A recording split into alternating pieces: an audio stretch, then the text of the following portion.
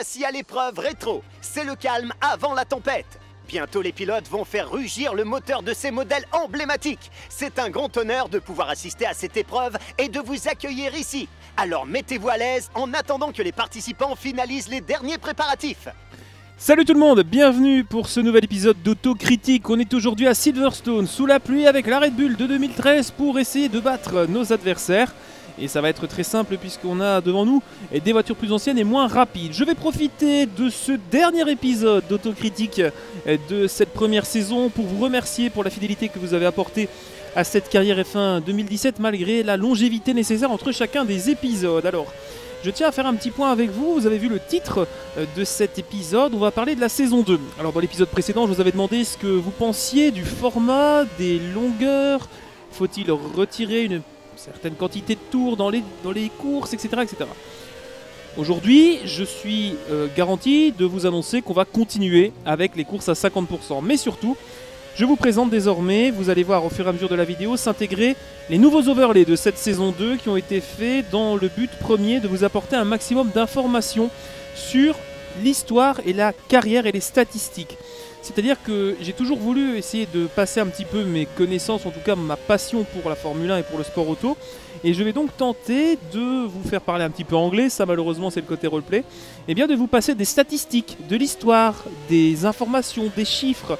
Alors je ne vais pas devenir Jean-Louis Moncé, vous le savez bien, mais j'apporte un petit plus avec euh, ces détails historiques. Alors effectivement j'aurais bien aimé intégrer euh, des images historiques euh, dans mes vidéos, je ne peux pas malheureusement, vous le savez, pour des raisons de droit d'auteur, mais j'ai tenté d'apporter un maximum de détails à chaque overlay qui sera annoncé pour que tout le monde puisse comprendre ce qui se passe en piste. Alors, pour la saison 2.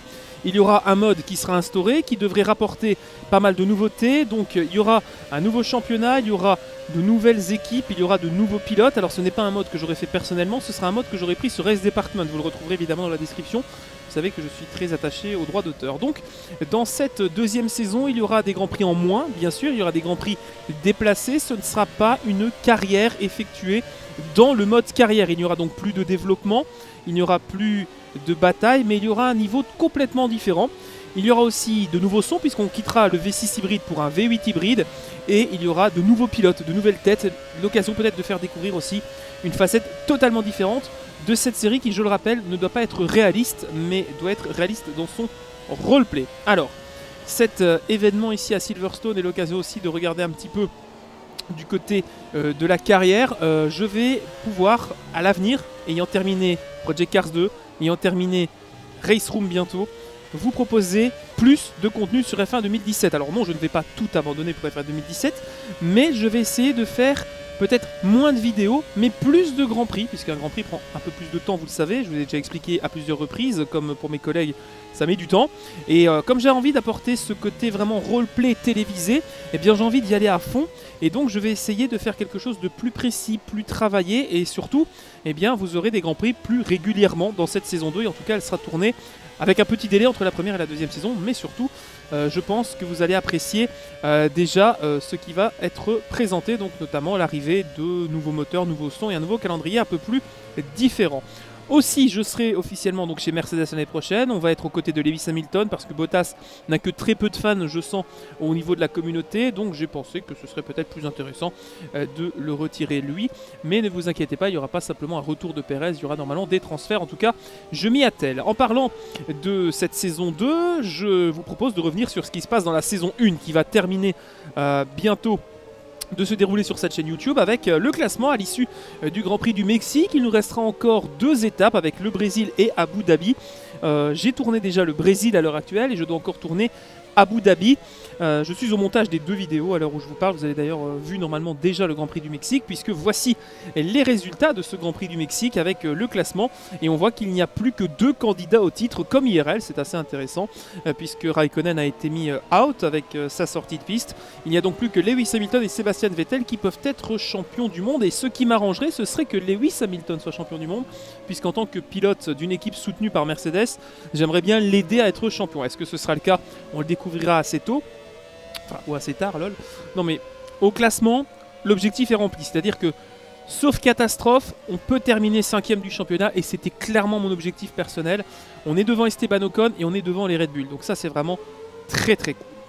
Au championnat constructeur, Ferrari a repris la main face à Mercedes, donc on voit que les Italiens euh, gardent quand même un avantage au niveau du développement. Malheureusement, euh, la progression de Ferrari en première moitié de saison a été totalement occultée par Mercedes et par les problèmes de la Scuderia.